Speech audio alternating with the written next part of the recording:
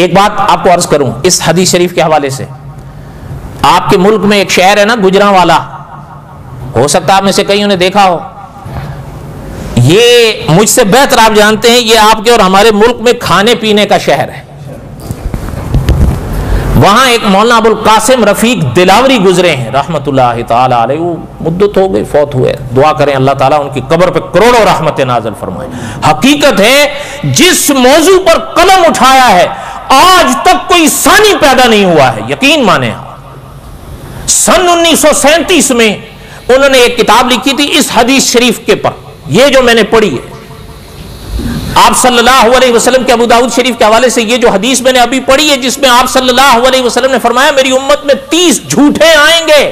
کلہم نبی، سارے کہیں گے ہم نبی ہیں۔ حضرت نے اس حدیث شریف پر جو کتاب لکھی ہے، آپ اٹھا کر دیکھیں ذخیرہ اس حدیث شریف پر حضرت نے جو قلم چلایا ہے تو نو سو صفحے کے بعد رکا ہے۔ اردو میں اردو میں، یہ نہیں کہ عربی میں۔ اور ایسی کتابیں میں نے ابھی عرض کیا سانی کوئی نہیں آیا اس کتاب کے لیے دوسرا لانے کے لیکن اتنی زخیم پڑے گا کیسے کوئی؟ اس زمانے کے تو مسلمان پڑھ لیتے تھے۔ میرے اور آپ کے دور کے، ان سے نورانی قاعدہ نہیں پڑھا جاتا، وہ نو سو صفحے کی کتاب کیسے پڑھیں گے؟ خاک پڑھیں۔ سوال ہی نہیں پیدا ہوتا، وہ تو تقریر نہیں سن سکتے۔ انہوں نے پھر اس کی تلخیص کی۔ غالباً سن انیس سو پچپن یا چون میں جا کر، تقریباً بیس سال بعد پھر اس کی تلخیص کی۔ خلاصہ جس کو کہتے ہیں۔ اس کا نام رکھا ایمان کے ڈاکو۔ کیا نام رکھا؟ ایمان کے ڈاکو۔ اب وہ نایاب ہے، ملتی نہیں۔ بہرحال، بات جو عرض کر رہا تھا کہ آپ صلی اللہ علیہ وسلم نے جی- پیش گوئی میں جن جھوٹوں کا ذکر فرمایا کہ وہ تیس ہوں گے، حضرت نے وہ کتاب لکھی۔ اتنی زخیم کتاب، ان میں حضرت نے وہ جتنے تھے ان سب کی تاریخ اس میں درج کی ہے، لیکن حضرت نے اس کتاب کے شروع میں لکھا ہے کہ ہمارے زمانے تک، آپ صلی اللہ علیہ وسلم کی اس حدیث پاک سے لے کر ہمارے زمانے تک۔ میں نے ابھی بتایا حضرت نے وہ کتاب کون سے سن میں لکھی تھی؟ سن انیس سو سینتیس میں۔ آج بھی اس کے صفحہ نمبر چار پر حضرت کے جہاں دستخط ہیں، وہاں چار جنوری سن انیس سو سینتیس لکھا ہوا ہے۔ یہ آپ پڑھ سکتے ہیں اگر آپ کو مل جائے تو۔ تلاش کر لیں، مل جاتی ہیں کتابیں۔ اور اللہ تعالیٰ بڑا بول نہ بلوائیں۔ میں نے یہ کتاب پڑھی تھی سن انیس سو اٹھانوے میں۔ اخیر تھا۔ میرا آپریشن ہوا تھا تو میں یہ آپ کی ہے نا، یہ کوہنگوا ہسپتال جو ہے، وہاں دو ہفتے کے لیے میں داخل تھا۔ آپریشن بھی بڑا بھیانک تھا۔ تو وہاں دو ہفتے انہوں نے مجھے رکھا تو میں نے یہ ساری کتاب اس ہسپتال میں پڑھی تھی۔ جہاں تک مجھے یاد ہے۔ لیکن یہ تاریخ میں مجھے کوئی شبہ نہیں، آپ میں سے جس کے مرضی پڑھتے رہے اس پہ آج بھی سن انیس سو سینتیس درج ہے۔ کتنے سال گزر گئے۔ حضرت نے لکھا ہے اس میں کہ آپ صلی اللہ علیہ وسلم نے جب یہ حدیث ارشاد فرمائی، حضور کے زمانے سے لے کر ہمارے زمانے تک حضور نے فرمایا، قذابون سلاسون وہ تیس ہوں گے۔ حضور نے، حضرت نے لکھا ہے کہ میرے زمانے تک، ہمارے زمانے تک بائیس پورے ہو چکے ہیں۔ کتنے؟ کتنے بچے؟ بولو نا۔ قذابون سلاسون تیس میں سے بائیس نکال دو، پیچھے کتنے بچ گئے؟ آٹھ۔ حضرت نے فرمایا، جیسے یہ بائیس چودہ صدی یہ لفظ بھی اس میں لکھا ہوا ہے۔ اللہ تعالیٰ کی عنایت ہے، مجھے اچھا تیرا یاد ہے۔ حضرت نے لکھا ہے کہ یہ چودہ صدیوں میں بائیس پورے ہوئے ہیں۔ باقی آٹھ بھی قیامت سے پہلے پورے ہوں گے۔ اس لیے کہ ہمارا عقیدہ یہ ہے، آسمان کا سورج پھٹ سکتا ہے، لب مصطفیٰ کی جنبش غلط نہیں ہو سکتی۔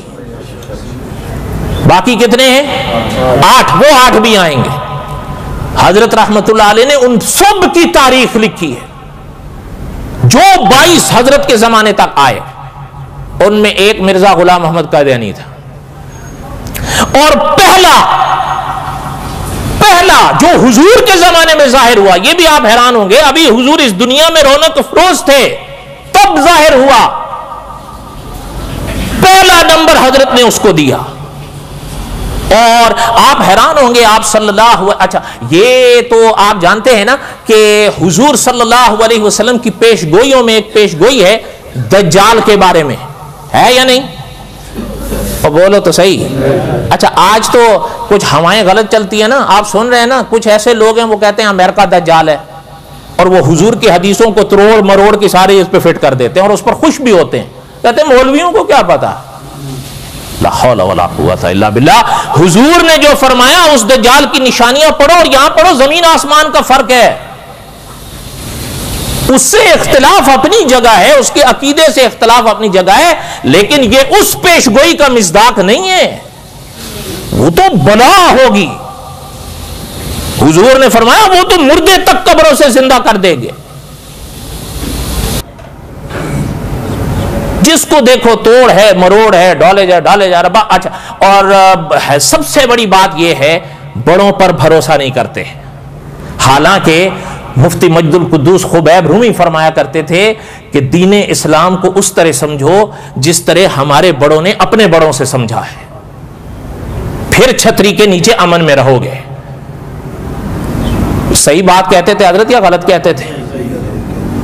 میں آپ کو جو بات عرض کر رہا تھا، وہ جس کو حضرت نے پہلا نمبر دیا ہے، دجال کے بارے میں جو احادیثیں آئی ہیں، صحابہ کو اس کے اوپر یہ شبہ ہونے لگا تھا کہ یہی تو کہیں ان احادیث کا مزداق نہیں ہے۔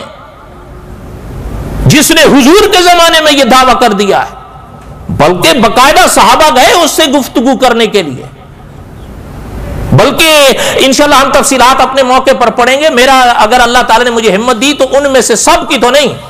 وہ بائیس کی تاریخ تو سناتے سناتے پھر تو میرے حال میں دو تین سال گزر جائیں گے، البتہ کچھ کا خلاصہ سنائیں گے جو حضرت نے لکھا ہے۔ سنانا چاہیے یا نہیں؟ پتہ چلے کہ انہوں نے کیا کہا۔ اور یہ جو آج والے آ کے کہتے ہیں، ہم تو قرآن پیش کرتے ہیں، وہ بھی قرآن ہی پیش کرتے تھے۔ لیکن اس زمانے کے مسلمانوں نے قرآن کو سچا مانا، ان کو جھوٹا مانا۔ کیوں؟ قرآن کا معنی غلط کرتے تھے۔ وہ اس زمانے کے مسلمان اس راز کو خوب سمجھتے تھے کہ یہ معنی غلط کر رہے ہیں۔ قرآن تو سچا اور قرآن جو حضور کے زمانے میں تھا، آج وہی ہے۔ یہ تھوڑا ہے کہ حضور کے زمانے میں کوئی اور تھا اور آج الگ ہے۔ صحیح بات ہے، غلط بات ہے۔ ان سے اچھا ان سے ایک نے فرمایا بھی کہ کیا تو دج، اس نے کہا اگر دجال کی جو نشانیاں بتائی گئی ہیں نا، اگر وہ ساری مجھے دے دی جائیں، میں اس کے لیے بھی تیار ہوں۔